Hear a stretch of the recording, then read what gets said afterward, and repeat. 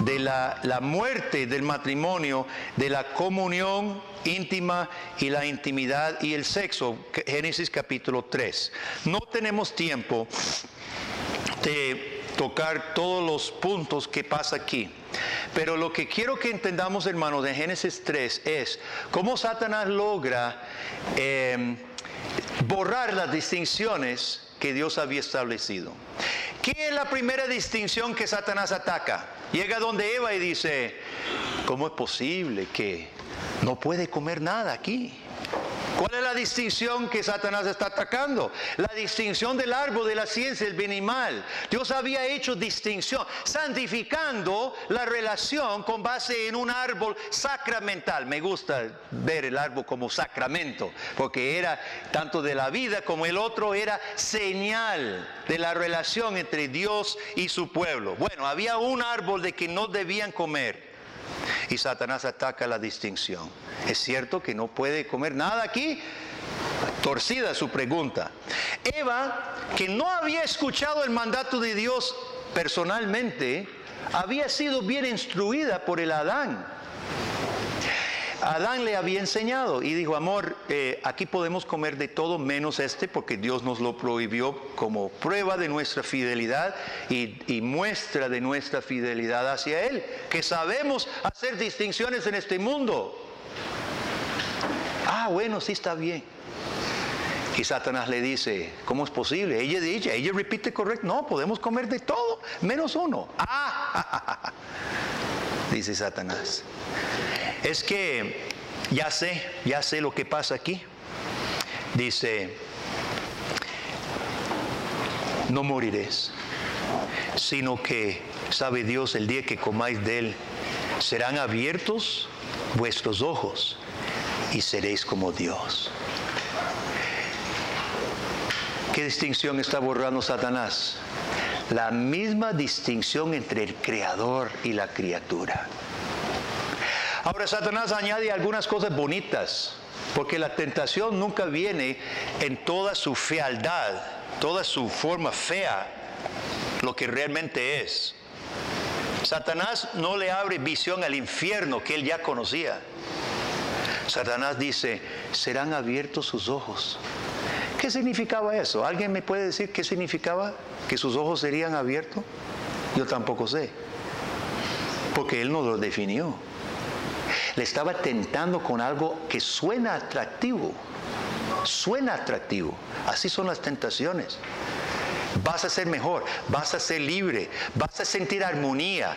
Todas esas cosas vagas que no definen nada pero somos susceptibles, hermano.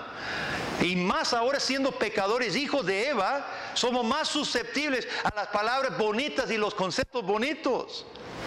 Serán abiertos sus ojos. Y ustedes serán dioses en la tierra. No se preocupe, no hace falta aquel creador que prohíbe cosas. Ve qué bonita es la fruta. Serán abiertos sus ojos. Además, la amenaza de morir es pura paja. No se preocupen.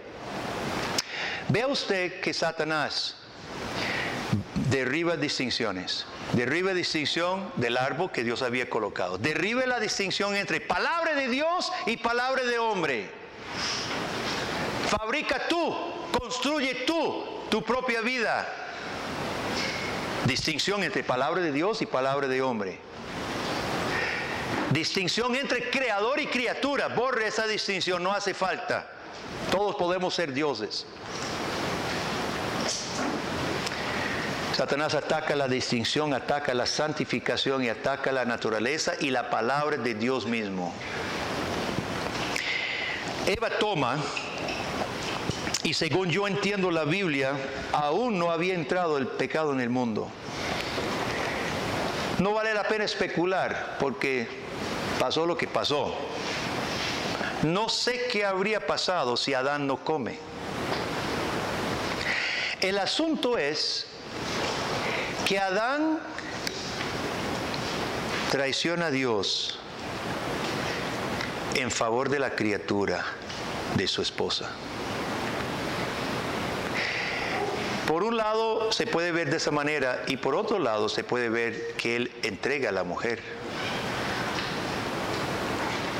no corta la cabeza a la serpiente, que era su tarea. Guardar era defender el huerto. En el momento que Adán come, porque Romanos 5 y otras partes de la Biblia son claros que la responsabilidad del pecado fue Adán. Dios creó un orden de hombre y mujer. La mujer no era cabeza. La prueba es que Adán fue el responsable, aunque comió segundo, en segundo lugar. Y es hasta que Adán come que todo se desmorona. Yo no sé qué estaba pasando en la creación en ese momento, solo puedo especular. Lo que pasó, pasó lo que pasara, fue terrible y ellos se dan cuenta que algo terrible acaba de pasar. Y la pureza y santidad y confianza que se tenían, todo se pierde. Satanás riéndose, mirándolos corriendo al matorral a esconderse cuando oyen la voz de Dios. Cogiendo unos, unas hojas de higo y, lianas eh, haciendo una, un taparrabos. Yo tengo una planta de higo en mi patio. No sé qué clase de vestido hicieron de esas hojas.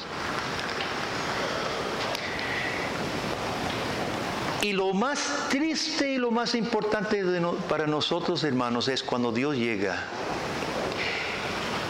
Y llega Dios, no sé en qué forma, yo pienso que era la misma nube de gloria con que Dios condujo a Israel por el desierto y no oyeron la voz suavecita de Dios que paseaba en la tarde al fresco del día. Oyeron el espíritu, el ruaj de juicio que vino con tremendo, sacudiendo la tierra y con sonido de bocina como Sinaí. Eso es lo que se presentó en el huerto y por eso se fueron corriendo. Y llega Dios y dice, Adán, ¿dónde estás? ¿Por qué estás metido ahí? Ven acá.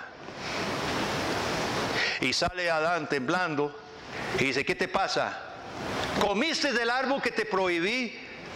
es que eh, eh, yo no, fue la mujer que me diste. Número uno, Adán no anda buscando a Dios arrepentido. Número uno. Aquí aprendemos mucha teología en los primeros capítulos de Génesis, hermano. Adán no estaba nada arrepentido, nada que buscaba a Dios, nada quebrantado, ningún buscador de Dios. Segundo, a Adán le importa nada su mujer. Y todos los hombres que estamos aquí, recordemos, somos hijos de Adán. Espero que seamos hijos de Dios también, que vamos a hablar en el tercer punto, rápido. Pero traemos la semilla del hijo de Adán, traidores dispuestos a sacrificar a nuestras mujeres. Eso está dentro. Y los que somos consejeros necesitan llevar a los hombres a quienes ustedes aconsejan a mirarse a sí mismos en el acto de Adán. Entonces Dios vuelve a Eva y dice, ¿es cierto? Mire, eh, yo no, fue la serpiente. Ah, la serpiente. La mujer que hacía unos minutos o momentos que había encontrado nuevo novio, enamorada estaba de la serpiente, de todo lo que le ofrecía, ojos abiertos, ser divina. Ahora, infiel también a él. Mujeres, Recuerden, todas ustedes traen la semilla de hijas de Eva, infieles y traidoras. Ojalá sean hijas de Dios también en Cristo, para que todos, hombres y mujeres, podamos saber que es un pacto de fidelidad una vez más y solo capacitado por Dios en Cristo. Resumiendo, ¿qué es lo que tenemos? Tenemos aquí ruptura Ruptura entre Dios y el hombre, ruptura entre Dios y el hombre y ruptura entre el hombre y la mujer, divorcio. Así son las consecuencias del pecado, hermano. Así de sencillo, estamos separados de Dios. reos de condenación. Y estamos divorciados, no, no, incapaces, incapaces. Adán no es capaz de decir, fallé, perdóneme Eva, perdóneme Dios. Eh, Perdón, por favor, es lo único que puedo, no es capaz de decir. La mujer no es capaz de decir, perdóneme Adán, yo sé que te, te, tenté, perdóneme Dios. No es capaz de decirlo. Tirándose el churuco los unos a los otros, tratando de salvarse su pellejo de forma patética, tapados en hojas de higo. Gracias a Dios, hermanos, nuestra Biblia no termina con capítulo 3. Y ustedes saben muy bien que en medio de las maldiciones viene bendición. El hombre, entonces dice Dios, bueno, espinos y cardos, el sudor de su frente. Pero ¿cuál es la bendición en medio de espinos y cardos? Hay pan, ganarás tu pan. Va a haber vida todavía. En medio de maldición, el Dios grande y soberano y misericordioso promete pan aún va a haber vida, no van a ir directo al infierno. La mujer tendrá dolores ahora que antes no tendría, pero van a haber hijos. Y no solo eso, que vendrá uno que aplastaría la cabeza de la serpiente. Van a ser un salvador. Y cuando termina todo, no sé cuánto entendía Adán y Eva, pero algo entendían de que, de que aunque merecían castigo, iba a haber vida, iba a haber un Salvador. Y Adán le pone nombre a su mujer, Eva, madre de los vivientes. Esperanza en medio de todo lo oscuro y lo triste y las lágrimas. Y el tercer punto es la redención, a que apunta la promesa de la semilla, hermanos. El mejor pasaje, ustedes lo conocen, es Efesios 5, donde Pablo asemeja la relación de Cristo y la iglesia con el matrimonio. Y Pablo habla de la redención del matrimonio, hermanos, en términos de hombre y mujer. Maridos, amad vuestras mujeres como Cristo amó a la iglesia y se entregó a sí mismo por ella para santificarla, habiéndola purificado por el lavamiento del agua. Las mujeres deben someterse a sus maridos en el Señor como la iglesia se somete a Cristo. La redención del matrimonio es un corazón redimido y regenerado. Y los que son consejeros, si usted está aconsejando a alguna persona que no es salva y rechaza, si usted comparte el Evangelio con esa persona y dice, es que mm, yo le aviso, no, yo prefiero, mi concepto de Dios es otro. Mire, si rechaza el Evangelio tal como es presentado en la Biblia, lo más que usted puede hacer es advertirle de que no va a haber contentamiento y felicidad, que va a haber un juicio finalmente, y lo más que usted puede hacer es acompañarlo solidariamente en su miseria, porque no hay esperanza. La única esperanza que ofrece la Biblia para corazones endurecidos, como eran los nuestros, es el arrepentimiento, la fe en Cristo, el nacer de nuevo por el Espíritu del Señor. Y en Cristo ahora comprender y amar y abrazar el propósito original de Dios de crearnos, tener relación con Él y poder formar nuevamente, a pesar de ser pecadores, poder formar nuevamente un matrimonio que refleje no solo el Creador y el hombre, sino a Cristo y la iglesia.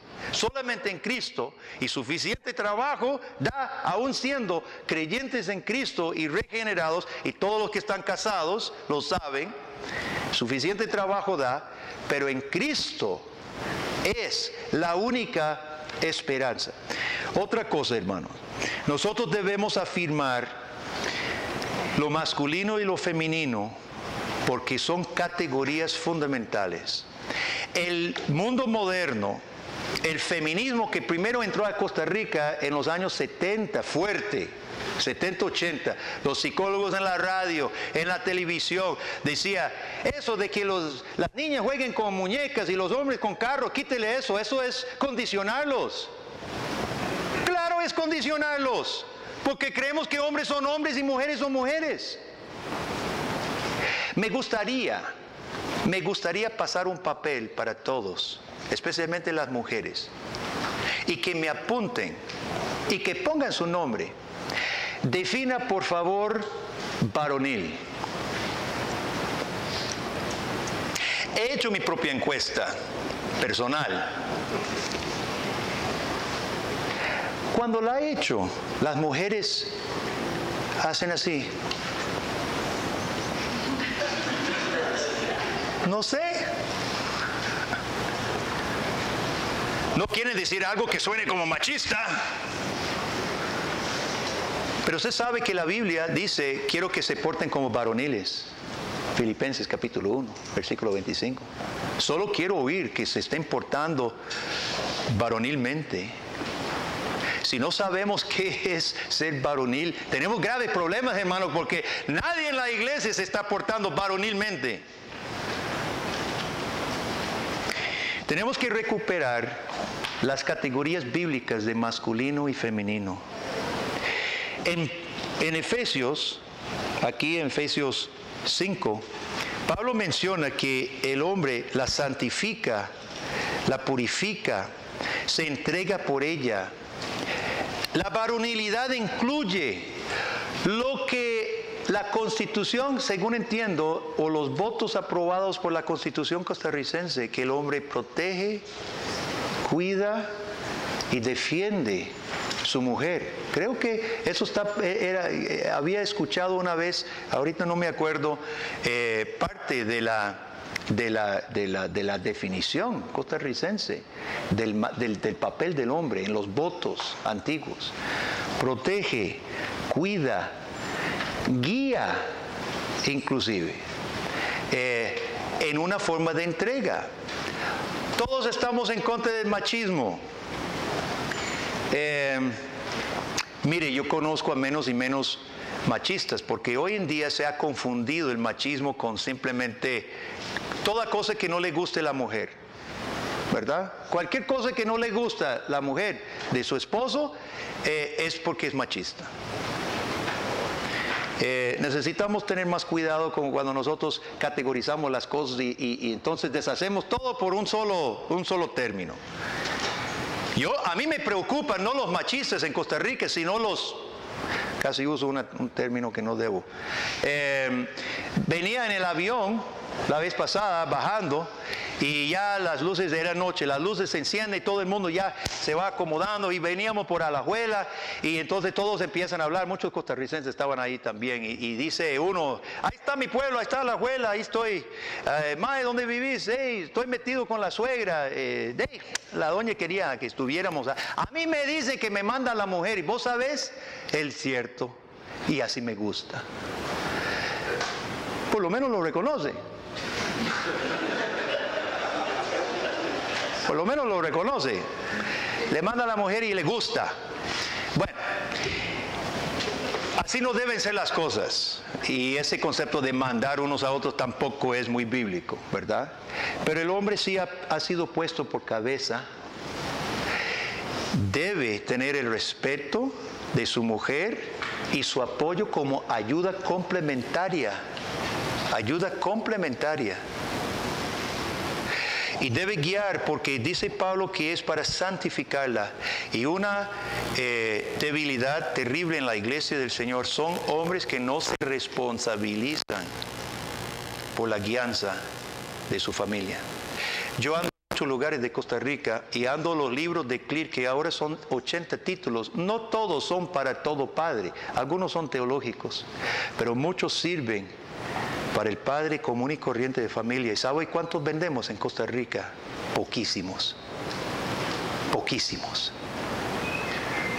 Me preocupa el liderazgo, la falta de liderazgo varonil en este país. Y lo estamos viendo los frutos en la iglesia. Estamos viendo los frutos en la iglesia, hermano. Hombres debiluchos en su concepto de qué es ser cabeza de su hogar. Mujeres, ¿qué es la verdadera feminidad? Eh, yo quiero leer eh, un texto que nunca he escuchado un pastor predicar, Tito capítulo 2. Y, y yo sé por qué no lo han predicado. En Tito capítulo 2, versículo 3. Las ancianas asimismo sean reverentes en su porte, no calumniadoras, no esclavas del vino, maestras del bien, que enseñen a las mujeres jóvenes a amar a sus maridos y a sus hijos.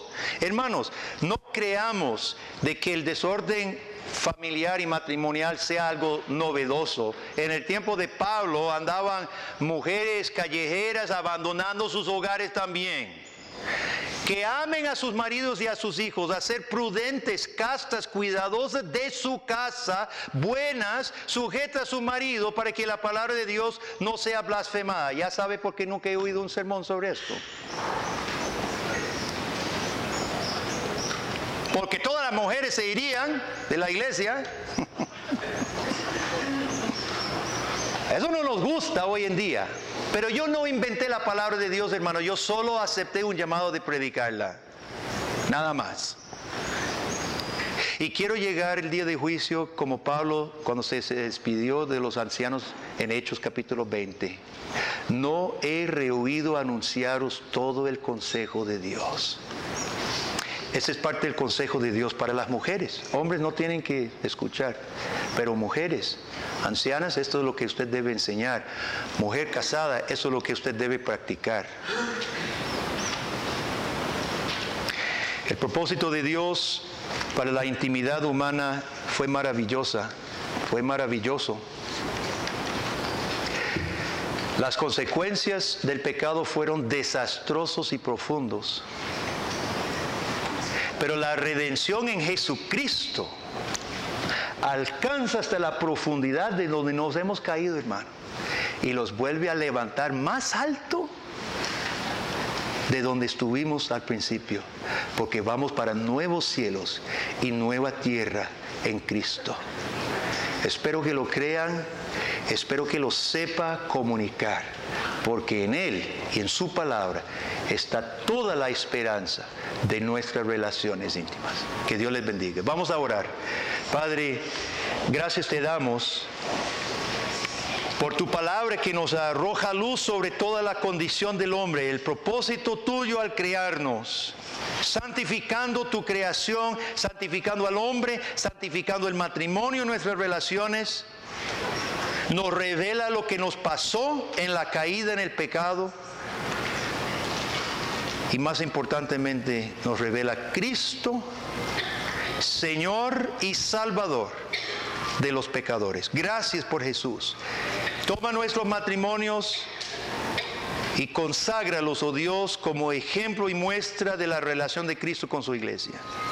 Y bendice a mis hermanos y mis hermanas aquí presentes, consejeros, oh Dios, con una tarea en un mundo de confusión y en muchos casos abierta rebeldía contra tu palabra, Dios. Ayúdalo, dale sabiduría, unge con tu Santo Espíritu y poder sus acciones y sus obras en favor de la restauración de las personas plenamente a la imagen de Jesucristo. En su nombre oramos. Amén.